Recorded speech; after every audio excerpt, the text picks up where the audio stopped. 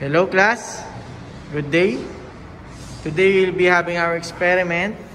Uh, friction loss in pipes. So essentially we will have uh, losses due to pipe leakages and we will examine that through this experiment. Our apparatus, the hydraulics bench, the manometer, and your straight pipes.